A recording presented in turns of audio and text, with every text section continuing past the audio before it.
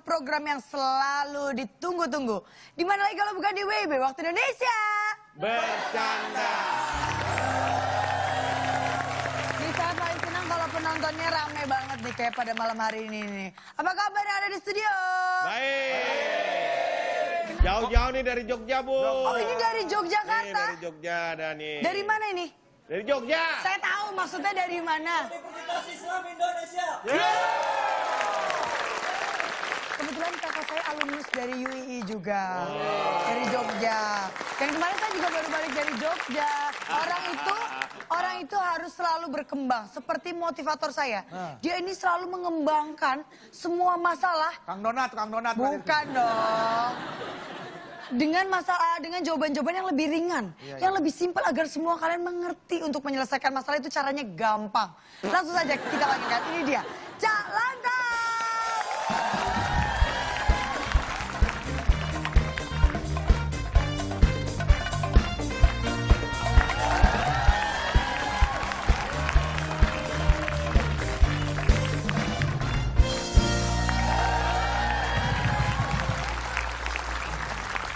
Terima kasih kehadiran Anda semua di studio pada malam hari ini. Untuk itu sampai di sini acara Loh, Pak. Bapak ini nggak siap atau gimana? Kalau memang Bapak memang nggak siap, memang harus dari saya nih, dari dari kita. Lah iya makanya, bebas. Sering Bapak ini selalu memaksakan kehendak pada kita. Mengarahkan Istilahnya, gitu ya? Mengarahkan, mau harus bahas ini, harus jawab ini. Bapak istilahnya ini otoriter. Nah, Nah, ini bahas kasih tahu. otoriter, Pak. Ini kasih tahu orang tua Anda, nggak boleh bapak Anda seperti itu. Zaman sudah berbeda.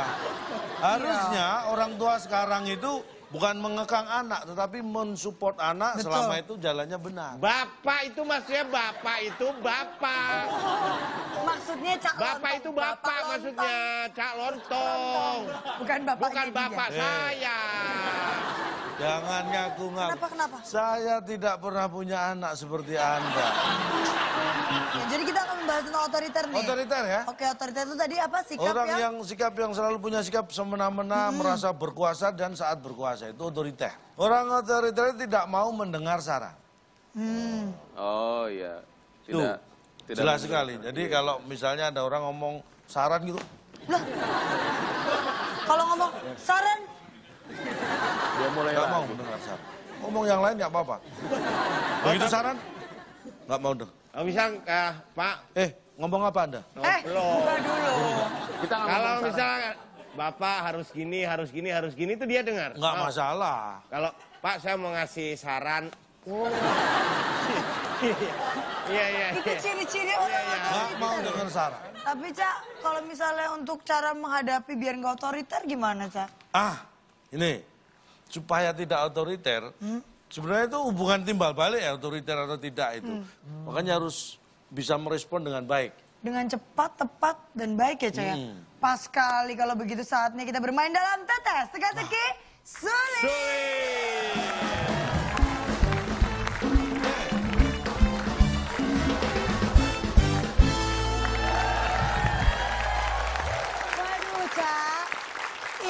Pesertanya cuma dua sih Cak? Iya, kurang lima dong. Ah, maaf bukan dua dong dong, kan masing-masing tim cuma dua-dua.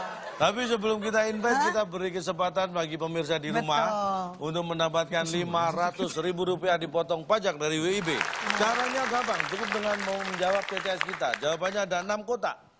Huruf keempat, E. Untuk bisa foto bersama, kita pakai titik, titik, titik. Jawab, kirim ke at WIB underscore net dengan hashtag WIB underscore otoriter. Riter. Otoriter over. Otoriter. Ya. Baik. Sekarang kita akan undang bagi Ya, ada dua bintang tamu nih Cak. partner dua Pepi dan Benar buat Pepi Bedu. dan buat Bedu. Langsung saja ya kita panggilkan ini dia bintang tamu kita pada malam hari ini. Jessica Fania dan Brandon Salim.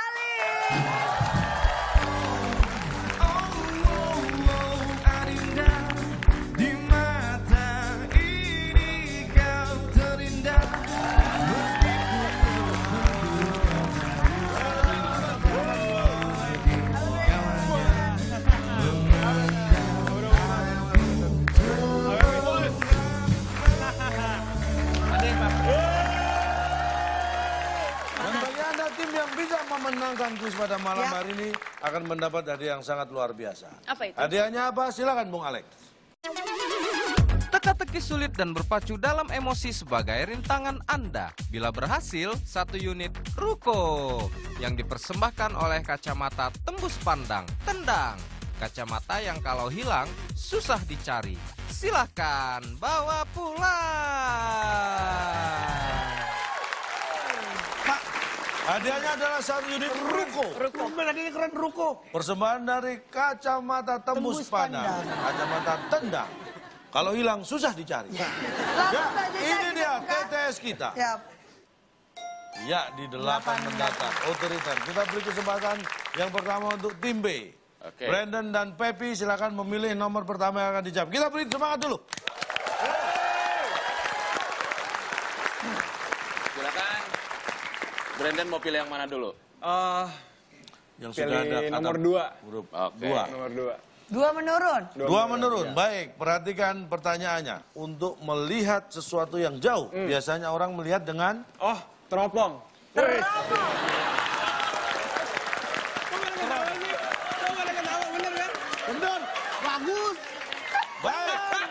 Kita kunci.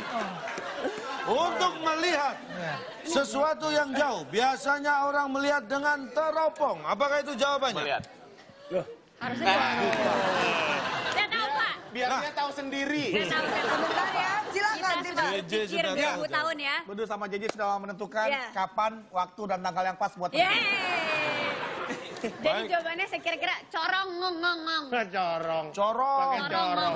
Corong. Saya kan Pokoknya nggak banyak minyak itu kan. corong ya. Corong. Ngeliat pakai corong. Corong. Ya gini maksudnya buat ngintip corong. Oh iya, Ya. corong. Kan Pakai bisa buat corong. corong. Bisa. Iya, iya, iya. Untuk melihat sesuatu yang jauh, biasanya orang melihat dengan corongong.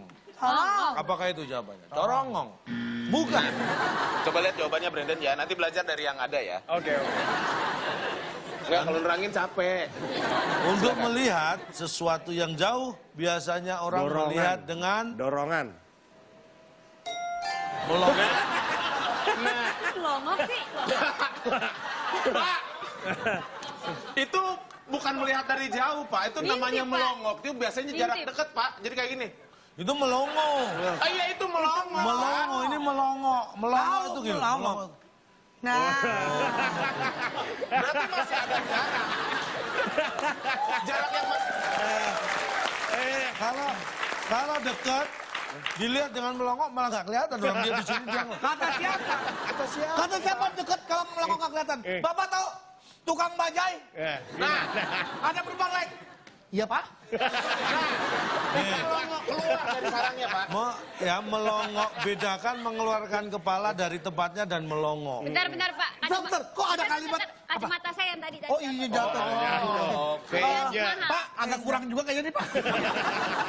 Bapak tahu melongok nggak sih, Pak, melongok? Tahu, melongo itu Coba apa? eh, eh, jelaskan dan visualisasikan apa itu melongok. Melongo ada melihat sesuatu dengan jarak yang jauh. Konsisten ya. contohnya mungkin bedu. Pak, lihatin Coba- apa, Pak? Enggak, ini mungkin contohnya coba bedu lihat tuh piring yang di atas sana itu. Mana? Itu yang di atas sana.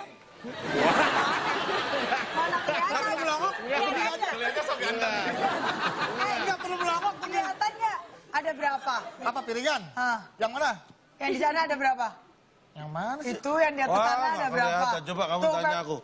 Tanya aku. Cak, coba lihat piringan tuh, Cak, yang di atas sana ada berapa, Cak? Oh, iya. Ada dua. Oh, benar dua. Pepe aja tadi gini. Tuh.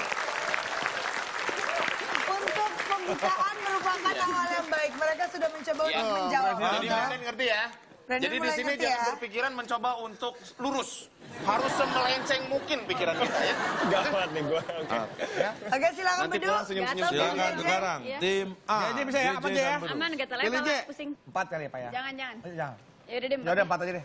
Empat menurun. Ya. Ada enam kotak huruf ke empat I. I. Pertanyaannya, eh tahu binatang kan? Tahu. Banyak Pak, binatang tuh apa aja Pak? Tahu. Tahu Pak, cuman binatangnya tahu kita nggak? Itu aja. Tahu lah. Mirip kuda, tapi yang badannya belang-belang hitam putih hitam putih namanya apa? Zebra. Zebra. Zebra. Mirip zebra, tapi badannya polos hitam atau polos putih, polos coklat. Udah. Berarti paham. Gue jawab lagi. Ini binatang, binatang. Tahu binatang kan? Tahu, Tahu. Tahu pasti bisa jawab. Siap. Yang ada tintanya. Apa pak? Eh, Ada. Cumi-cumi. Pengennya gurita. Gurita. Pengennya gurita. Yang ada tintanya Sudah boleh ngerti kan? Soto. Pengennya kan? Pengennya pem- gurita. pemilu. pemilu. Yang ada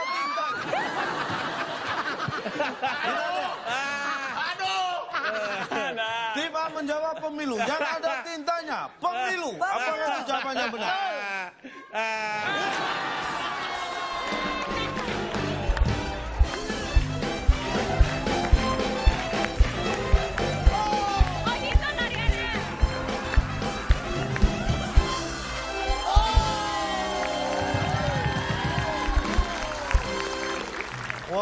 Silakan, silakan diminum, silakan minum. Saya mau dikasih sama binatang. Dari pemilu ke binatang. Minum dulu Pak, minum dulu. Ada. Untuk kalian semua. Nyari apa sih, Cak? Kacamata. Tadi maksud awal binatang maksudnya apa, Pak? Apa? Jauh aman dari dari binatang ke pemilu, Pak. Ada binatang emang pengikut pemilu, Pak. Bapak tadi kan awalnya ngomong zebra. Tahu binatang, kuda. pantau binatang Lah kan? ya ngetes aja tahu binatang nggak? Yang mirip kuda tapi garis garis Tahu. putih hitam. Ya, itu tapi kan namanya. pertanyaan Bapak saya kira akan lanjut ke pertanyaan Ah, jangan asal tuduh dong. Anda nanyanya baik-baik. Lu nggak tahu apa yang lu minum? Tinta bekas pemilu kemarin. Masa oren? Pemilu mah hitam. Ini oren. Ya itu udah kedaluarsa. Musuh ada luar oren, Pak. Ada-ada aja Pepi. Pengen tuh. Pengen tuh. Makanya jawab, gunakan otaknya dong. Baik, Selanjutnya, ini baru tim. Sekarang kita beri kesempatan untuk JJ bawa hoki, Pak. Yo, eh, biasa Yo, kalah ya? iya. Brandon pilih nomor tim B lagi. lima menurun. Oke. Lima Lima menurut. Ada tujuh kotak. Seseorang yang telah menyelesaikan pendidikan S1. Namanya? Pengennya, pengennya sarjana. Eh diulang lagi pertanyaan Oke, sekali lagi. Seseorang yang telah menyelesaikan pendidikan S1 namanya Kerja ah. kerja ah. Baik, seseorang yang telah menyelesaikan pendidikan S1 namanya kerja ah. Apakah itu jawabannya? Apa sih? Bukan. Gak apa-apa, sengaja kita jawab-jawab bener, jangan. Itu hina banget di sini tuh jawab bener. JJ. Bedu dan JJ, silakan. Termuat, Pak. Termuat. Termuat. Seseorang yang telah menyelesaikan pendidikan S1 namanya termuat. Namanya Apakah termuat. itu jawabannya? Biasa. Yes. Baik, kita akan buka langsung. terserah, Pak. Kurang lebih terserah. Seseorang yang telah menyelesaikan pendidikan S1 namanya ter Itu dikit lagi, Pak. Termuat dan terdata gitu. bedanya apa? Terdata dan termuat bedanya apa, Pak? Termuat dalam data-data yang sudah disiapkan. termuat dan terdata. Iya. Terdata. Bedanya apa? Iya. Terdata. Anda pernah tahu namanya bank data? Tahu? Isinya apa? Data. Data. Apa itu bank muat? Bukan dong, Cak, berbeda. Berbeda, Cak. Muat, muat sama data. Muat galon. Nah. Nah, truk memuat galon, Ya. truk mendata galon. Uh, truknya. Oh, ya kita kasih suara lagi buat peserta kita. Masih 100 dan kosong poinnya. Ayo kita Kita lanjutkan lagi. kembalikan pada tim A. Memilih nomor pilih J. Tiga mendatar. Oh, hanya ada lima. Sepet, Gampang sepet, sekali. sepet, sepat, mepet, apa yang terserah ini? Cepat, ayo loh. Selain detik dan jam yang digunakan untuk menunjukkan waktu adalah Kok bunyi kaget gue? Kita nggak diskusi. Mepet, Pak. Waktunya mepet. Bener nggak, J? Mepet. Benar, benar. Pasti Baik, mepet. kita lihat.